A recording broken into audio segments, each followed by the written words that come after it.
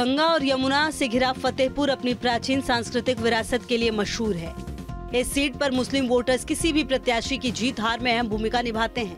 यहाँ के मुसलमान मतदाताओं के मन में क्या है, ये जानने के लिए न्यूज़ नेशन की टीम फतेहपुर पहुँची। बड़े मियाँ किधर चले की टीम अब पहुँच चुकी है फतेहपुर, वो नगर जो कि फतेहमंद खान साहब ने इसकी स्थापना की थी। खास बात यह कि ये एक हॉट सीट मानी जाती है, क्योंकि साध्वी निरंजन ज्योति यहाँ पर दो बार जीती हुई आई हैं और वहाँ खासतौर पे केंद्र में मंत्री भी रही हैं। इस बार नरेश उत्तम के साथ में उनका मुकाबला है और कहा जा रहा है कि ये हॉट सीट इसलिए भी है क्योंकि बीजेपी ने एक तरह से इस गढ़ में सेंधमारी करके 2014-2019 में यहाँ पे सत्ता हासिल की थी। क्या इस बार दूसरी पार्टियों को यहाँ मौका मिलेगा? बड़े मियाँ इस बार क्या सोच रहे हैं? चलिए फतेहपुर से बड़े मियाँ किधर चले की शुरुआत करते हैं। फतेहपुर लोकसभा सीट पर पिछले दो बार से बीजेपी की जीत हुई है। अब बीजेपी इस सीट पर हैट्रिक रचने की दहलीज पर खड़ी है। लेकिन इस बार फतेहपुर का मुकाबला कांटे की होने की उम्मीद है।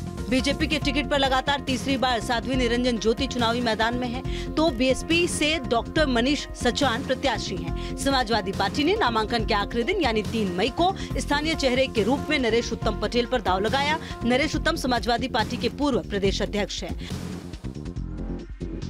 क्या मुद्दे को सोच करके आपके दिमाग में है कि इस आधार पे मैं वोट दूँगी? देखिए पिछली सरकारें जो थी वो महिलाओं पे इतना काम नहीं किया जितना भारतीय जनता पार्टी ने काम किया। और तीन तलाक पे भी उन्होंने किया। जो आरक्षण इस सरकार में मिला है किसी सरकार में नहीं मिला। और जो महिलाओं की सुरक्षा के लिए आरक्षण के लिए काम करेगा हम लोगों का वोट उसी को होगा। पहले की सरकारों में सुरक्षा अच्छी थी या अब की सरकारों में सुरक्षा अच्छी है? पहले की सरकारों में महिलाएँ बाहर नहीं निकल पाती थी। और शाम से ही घर वाले चिंता करने लगते थे कि हमारी बेटी अभी घर आई कि नहीं आई। आपकी सरकार में ये है कि महिला बाहर जाए, रात में बारह बजे भी आएगी तो कोई दिक्कत नहीं है। वो सुरक्षित आएगी। इस बार तो भाजपा का ही ज़ोर ज़्यादा है और लेकिन जो हमारे, पहले की सरकार में ये था कि मतलब इतना ज़्यादा महिलाओं को अट्रैक्टिव नहीं देखा जाता था और आज के समय पे ये है कि महिलाएँ कुछ ज़्यादा ही मतलब औरतों, औरतें सबसे ज़्यादा आगे बढ़ रही हैं हर चीज़ों में और इतना तो आदमी भी नहीं, लेकिन इस बार हम चाहते हैं कि हमको भाजपा की सरकार में ही ज़्यादा से ज़्यादा औरतों को सहारा दिया जाए तो हमारा वोट भी उसी को जाना चाहिए। महिलाओं के लिए राहुल गांधी बेहतर है या मोदी जी बेहतर है? देखिए जो बेहतर तो हमारे मोदी जी हैं इसलिए पहले की सरकार में जो था उससे बेहतर अब की बार हुआ है। लेकिन हम चाहते हैं कि इससे भी बेहतर हमारी एजुकेशन को लेकर हमारी हर चीज़ को लेकर के इस बार उसको ज़्यादा है दिया। क्या आपके मुद्दे हैं जिन मुद्दों पर आप वोट डालने जाएँगे? मुद्दे बस यही हैं जो महँगाई वाला मसला है यही चीज़ें सब सामने आती ज़ाहिर है कि हाँ।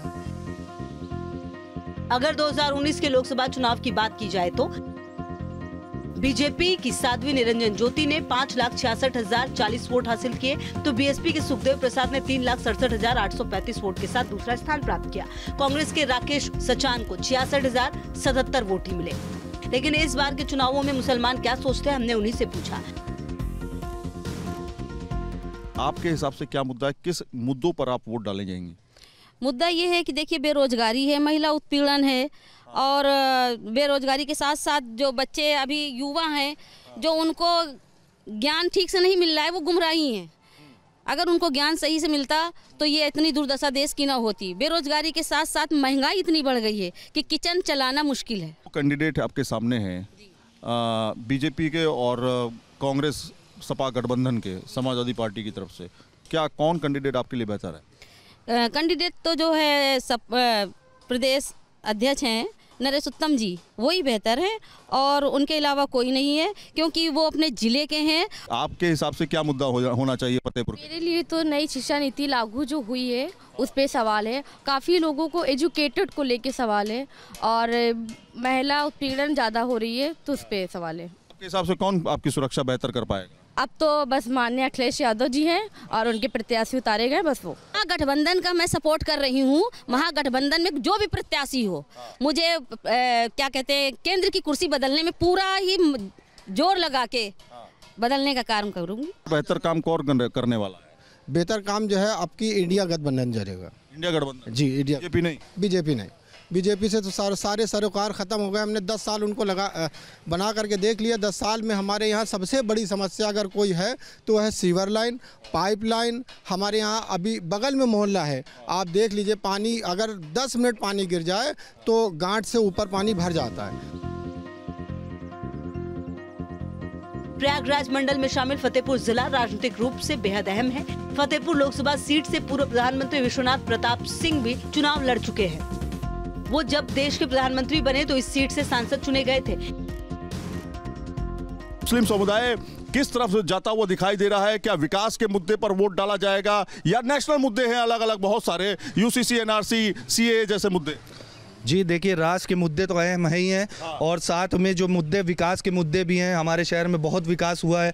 हमारी सांसद हैं माननीय साध्वी निरंजन ज्योति जी उनके राज में 10 साल में बहुत शहर में विकास हुआ है और मेडिकल कॉलेज जैसी बड़ी बड़ी चीज़ें इंफ्रास्ट्रक्चर में काम हुआ है रोड अच्छी बनी है और इस तरीके से बहुत काम हुआ है। रोज़गार मिले हैं लोगों को और यहाँ पे अ, मेडिकल फैसिलिटी अच्छी नहीं थी तो मेडिकल के लिए यहाँ पे ओपीडी चालू हो गई नया बढ़िया बन के हमारा मेडिकल कॉलेज तैयार हुआ है तो वहाँ पे डॉक्टर्स की अच्छी टीम अवेलेबल है तो अच्छा इलाज मिल पा रहा है लोग कौन बेहतर? बीजेपी तो ऐसा क्यों लग रहा है आपको? ऐसे बहुत विकास किया है बहुत अच्छा काम किया है इससे पहले किसी सरकार ने इतना अच्छा काम नहीं किया।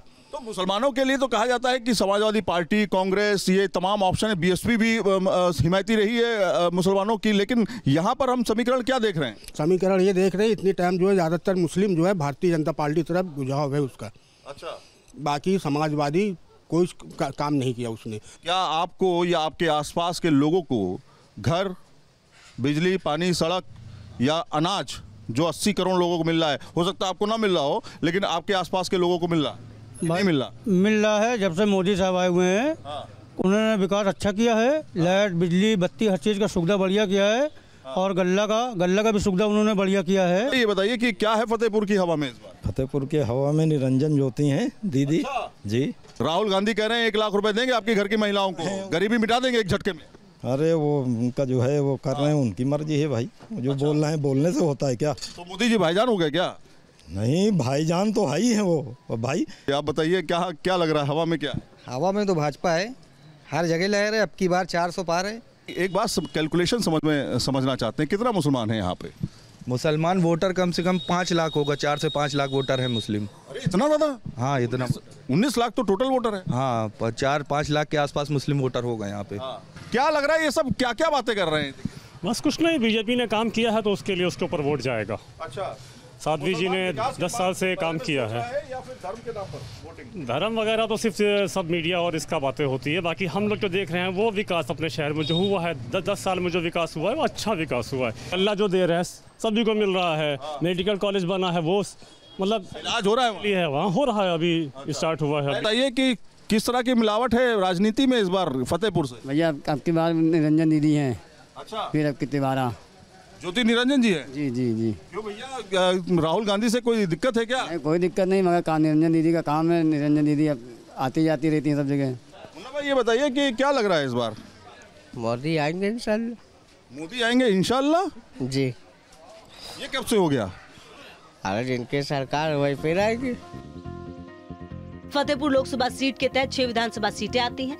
इनमें फतेहपुर जहानाबाद बिंदकी आयाशा खागा हुसैनगंज विधानसभा सीट शामिल है। इस बार फतेहपुर में स्थानीय बनाम बाहरी की लड़ाई देखी जा रही है। साध्वी निरंजन ज्योति हैट्रिक के लिए ताल ठोक रही हैं, तो समाजवादी पार्टी ने स्थानीय चेहरे को मैदान में उतार कर बड़ा दाव खेला है। क्या लग रहा है इस बार 2019 में के बाद जो है 2024 में फतेहपुर में इस बार क्या लग रहा है? निरंजन ज्योति यहाँ पे खड़ी हैं और दूसरे नरेश मित्तल हैं। जी। वो सपा गठबंधन। जी जी वो नए है इसलिए जो है थोड़ा। अच्छा। जी। नए हैं तो क्या है? मतलब जो है टक्कर नहीं हो पाएगी। ये बताइए कि क्या लग रहा है इस बार 2024 में? इस बार भी भाजपा ही जीतेगी कार अच्छा कर रही है। निरंजन ज्योति जी ने बड़ा अच्छा काम किया अस्पताल बनवाया और भी काम अच्छे हो रहे हैं। किसी मुस्लिम को कोई एतराज़ नहीं है। किसी सब मुस्लिम खुश हैं का, इनके काम से। हाँ और और क्या चाहिए हमको? मुसलमान कब से हो गया बीजेपी का? बीजेपी मुसलमान हो या ना कार दे काम देखा जा रहा है। काम अच्छा हो- 2019 के मुकाबले क्या इस बार मुस्लिम का दिमाग चेंज हुआ है क्या? 2019 के मुकाबले अब की मुस्लिम दिमाग भी कुछ चेंज हुआ काम देख करके।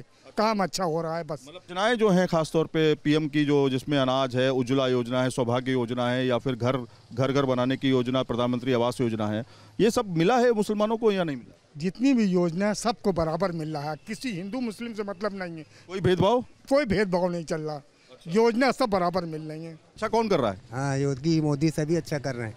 योगी मोदी अच्छा कर रहे हैं? सब अच्छा कर रहे हैं। आप किधर जाते हुए दिखाई दे रहे हैं? हम भाजपा की तरफ़ पर क्या लग रहा है माहौल क्या है? कहाँ हवाओं में क्या फिजा किस किसकी खुशबू है? भाई खुशबू तो देखा जाए तो इस टाइम लहर तो चल रही इस टाइम समाजवादी कांग्रेस की यूपी में। पर आप केंद्र में किसको देखना चाह रहे हैं? मोदी को देखना चाह रहे हैं या राहुल गांधी को देखना चाह रहे हैं? हम तो केंद्र में राहुल गांधी को ही देखना चाह रहे हैं। क्या है दुकानदारी कैसी चल रही है? अच्छी है। सरकार लेके आई जीएसटी या इस तरह के तमाम चीज़ें लेके आई उसका फ़ायदा मिल रहा है या उससे मामला गड़बड़ा गया? ठीक है फ़ायदा है। अच्छा। भाई जो हम कमा रहे हैं कुछ सरकार को भी दे देना चाहिए। हाँ। उनका भी काम है कि भाई कुछ पैसा हाँ देश कैसे चलेगा भाई? अगर जातीय समीकरण की बात की जाए तो फतेहपुर में लोकसभा सीट में करीब 19 लाख पचास हज़ार मतदाता है। एससी वोटर 4 लाख क्षत्रिय वोटर 3 लाख ब्राह्मण वोटर ढाई lakh Nishad voter 2 lakh Muslim voter डेढ़ लाख वैश्य वोटर एक दशमलव दो लाख और यादव करीब एक दशमलव एक लाख है। फतेहपुर में करीब तेरह फ़ीसदी मुस्लिम मतदाता हैं। इस बार मुस्लिम मतदाताओं का मूड क्या है? क्या लग रहा है इस बार हवा किधर जाते हुए दिखाई दे रही है हवा आपकी सपा की है।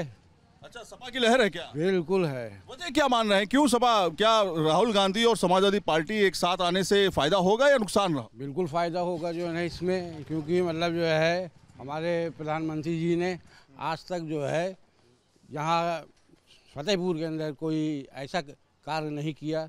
जिससे पब्लिक को फ़ायदा मिले। साध्वी निरंजन ज्योति यहाँ पे रही हैं दो बार सांसद रही हैं। क्या फतेहपुर का विकास किया उन्होंने डेवलपमेंट किया? बिल्कुल नहीं किया। कहीं पर भी देख लीजिए आप कोई भी लोग कह रहे हैं मेडिकल कॉलेज खुलवा दिया। अरे मेडिकल कॉलेज आज की देन है क्या? हाँ। ये बहुत पहले की देन है। ये कह रहे छह महीने में मेडिकल कॉलेज बना है अभी। अरे बनने से क्या होता है। बना तो मतलब अभी पुरानी? पुरा, पुरानी योजना है मेडिकल कॉलेज की जी हाँ। अली भाई क्या लग रहा है जिस तरह से भाई साहब बता रहे हैं क्या लग रहा है आप भी गठबंधन की तरफ़ जाते हुए दिखाई दे रहे हैं या कुछ और बदलाव है? नहीं नहीं हम लोग तो भारतीय जनता पार्टी के लिए वोट करेंगे क्योंकि जैसे अभी बड़े भाई ने बताया कि पुराना वो है मेडिकल कॉलेज। मेडिकल कॉलेज पुराना नहीं है। मेडिकल कॉलेज तो अभी बना है हमारे यहाँ। इससे पहले कभी मेडिकल कॉलेज नहीं था। इसके अलावा जो है, आप कहते हैं विकास नहीं, विकास तो देखिए, आपको दिखाई देगा। हमारे यहीं पे अभी कम से कम बीसों कॉलोनी जो है, यहाँ पे अभी दिया, ये सामने बनी हुई है। ये बगल में मेरे बनी हुई है, वो दो कॉलोनी बनी हुई है। ये बगल में वहीद भाई की कॉलोनी बनी हुई है, उधर नूरे भाई की कॉलोनी बनी हुई है शाह मोहम्मद की कॉलोनी बनी हुई है। विकास तो इतना किया है कि आप देखने को, बगल में है ये। ये देखिए, जमाल भाई की कॉलोनी बनी है ये राधे की है, ये भोला भाई की कॉलोनी है। मुसलमानों के लिए जो बीजेपी ने किया है वो किसी पार्टी ने नहीं किया। तो मुसलमानों के साथ भेदभाव तो नहीं होता है खासतौर पे जब आप डेवलपमेंट की बात करते हैं कहते हैं भैया उज्ज्वला योजना सौभाग्य योजना प्रधानमंत्री आवास योजना इसके अलावा जो अनाज योजना तमाम चीज़ों का लाभ मिल रहा है कि नहीं मिल रहा है? इस बुरी तरीके से मिल रहा है। आप हमसे न पूछिए। आप चलिए हमारे साथ अभी हमको आपको दिखा दे कंट्रोल में कि खुले आम बिल्कुल राशन मिल रहा है फ्री। उजाला उज्ज्वला योजना मिली है। वो डालने जाएँगे? हाँ डा, डालेंगे। काम कौन कर रहा है? आपने तो पुराना बदलते हुए फतेहपुर देखा है ना? हाँ हाँ ठीक है वो तो हम गठबंधन में देंगे वैसे। फतेहपुर सीट पर भले ही पिछले दो चुनाव में हार जीत का अंतर दो लाख के करीब रहा हो लेकिन इस बार मुकाबला थोड़ा कड़ा हो सकता है क्योंकि समाजवादी पार्टी और कांग्रेस के बीच गठबंधन है और इस सीट से एसपी ने अपने प्रत्याशी को मैदान में उतारा है। लेकिन बीएसपी भी एक बड़ी सियासी ताकत है और वो चुनाव का रुख मोड़ सकती है। बड़े मियाँ किधर चले? फतेहपुर से फ़िलहाल इतना ही। लेकिन दूसरे ज़िले में जाएँगे और जानने की कोशिश करेंगे, वहाँ के बड़े मियाँ दरअसल किधर जा रहे हैं। संदीप सिंह के साथ सैयद आमिर हुसैन, न्यूज़ नेशन, फतेहपुर।